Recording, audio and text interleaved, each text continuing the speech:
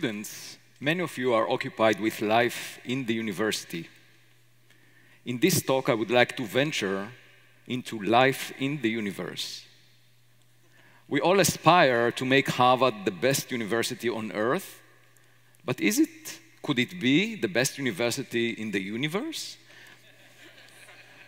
this boils down to the fundamental question, are we alone? What you see on the screen behind me is not the motto of a dating site. It is the most fundamental question in science. Are we alone? There are many reasons to be modest. My mother used to tell me when I was a kid. But after three decades of uh, being a professional astronomer, I can add one additional reason the richness of the universe around us. Let me explain. Prior to the development of modern astronomy, we tended to think that we are at the center of the physical universe and that it's centered on us. The sun and the stars were thought to revolve around the Earth. Although naive in retrospect, this is a natural starting point. When my daughters were infants, they tended to think that the world centers on them their development portrayed an accelerated miniature of human history. As they grew up, they matured and acquired a more balanced perspective. Similarly, observing the sky makes us aware of the big picture, and it teaches us modesty. We now know that we are not at the center of the physical universe. Since the Earth orbits the Sun, which itself moves around the center of the Milky Way galaxy, which drifts in some random direction throughout the universe. So there is not really a center to the universe. However, many people still believe that we are at the center of the biological universe. Namely, that life is rare or unique to Earth. In contrast, my working hypothesis is that we are not special. Based on the analogy with the physical universe, we are not special in general in terms of our physical coordinates, and also not, not special as forms of life. And adopting this perspective implies that we are not alone. This principle of cosmic uh, modesty implies that there should be life out there, both primitive and intelligent. And it has practical implications. If life is out there, we should search for it in all of its possible forms. We now know, thanks to the Kepler satellite, that about a quarter of all the stars in the Milky Way galaxy have planets like the Earth at the right distance from their star to have liquid water on their surface. And there are 300 billion stars in the Milky Way galaxy and 3 billion similar galaxies in the observable volume of the universe. So altogether, there are 10 to the power 20 habitable planets, roughly the size of the Earth, that could potentially have life. Is it reasonable to assume that life is only realized on our planet? Our civilization reached a milestone. We now have access to unprecedented technologies that allow us to search for both primitive and intelligent forms of life. And both of them exist in the one example where we find it here on Earth. The search for primitive life is underway and well funded. But the search for intelligent life is out of the mainstream uh, of federal funding agencies. This should not be the case, given that the only planet where life is found to exist has both primitive and intelligent forms on it. There is no doubt that noticing the big picture taught my young daughters modesty. And similarly, the Kepler satellite provides astronomers with a perspective that there are many habitable Earth mass planets out there. There are more such planets in the observable volume of the universe than there are grains of sand on all the beaches on Earth. And if you think about an emperor or a king in the history of humankind that used to boast about conquering a piece of land here on Earth, that person resembles an ant that hugs a single grain of sand on the landscape of a huge beach. The chemistry of life as we know it requires liquid water.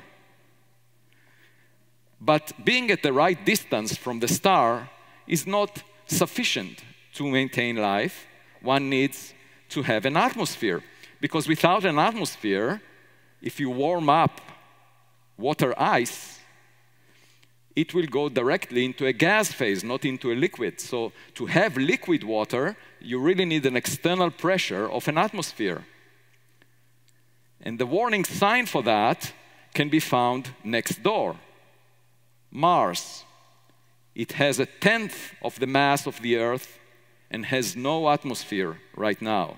And we don't see life crawling on its surface.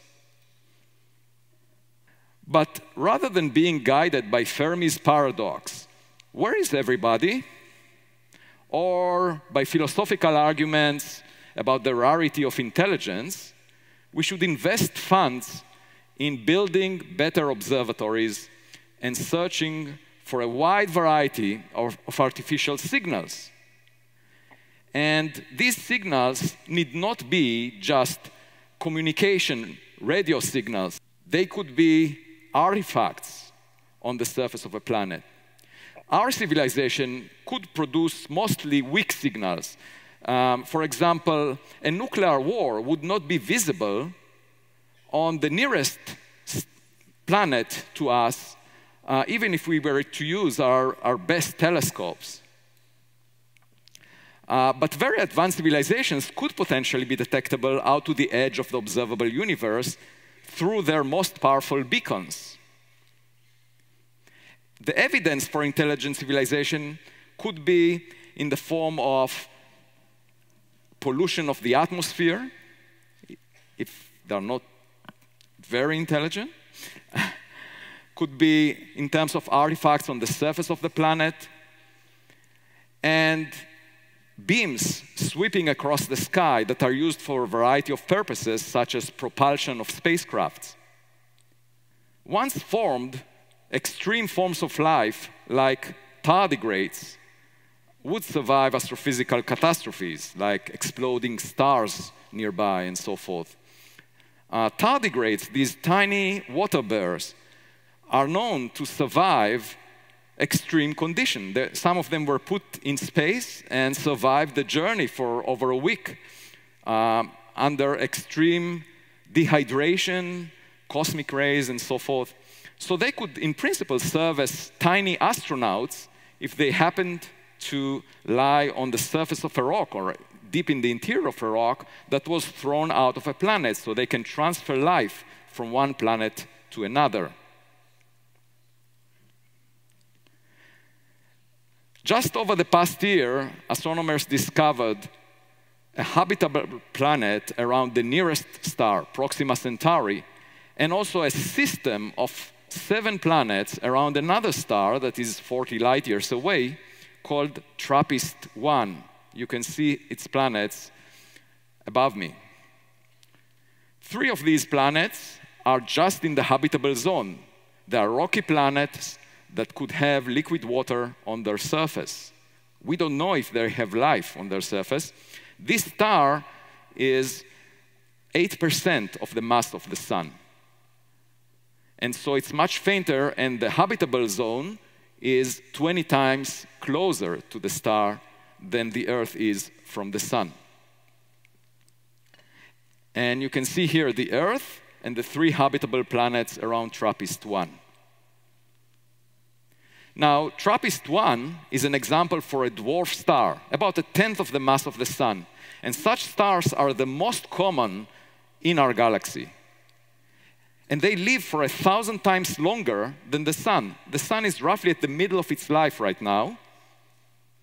And such stars will live for trillions of years. The first stars formed when the universe was much younger than the current age, uh, about 100 million years after the Big Bang. So we might ask ourselves, why is it that we find ourselves today next to a star like the sun and not in, in the distant future next to the much common population of stars that are much smaller than the sun? Where does the likelihood of life peak in the history of the universe? So, if one allows for life to exist around dwarf stars, they provide excellent prospects for life in the distant future. And when you plot the likelihood of life as a function of cosmic history, it actually peaks trillions of years from now, and you can see it in the rightmost uh, curve uh, above me. On the other hand, such stars may pose risks for life, and it's quite possible that only stars like the Sun allow life as we know it to exist. In that case, we are just at the right time where the likelihood for life peaks when the age of the universe is comparable to the lifetime of the sun. And the good news is that the possible existence of life around long-lived, low-mass stars can be tested observationally. We can just look around us and search for life around those stars and then figure out if indeed stars like the sun are much more hospitable for life. So the closest star to the Earth, Proxima Centauri, is only four light years away. It takes light four years to get to us from the nearest star. And it's a member of a triple system. There are two other stars in that system. It's called Alpha Centauri. And two other stars are just like the Sun. Proxima Centauri is 12% of the mass of the Sun. And amazingly, a habitable Earth mass planet was found around the nearest star, Proxima Centauri. It, because the star is uh, so light relative to the sun, the habitable zone is much closer in, 20 times closer in. And this planet orbits around Proxima Centauri every 11.2 days. So if you were to live on that planet, you would celebrate a birthday every week and a half. You would also need infrared eyes because this star um, is bright mostly in the infrared. But to have life as we know it, one needs liquid water on the surface of this planet.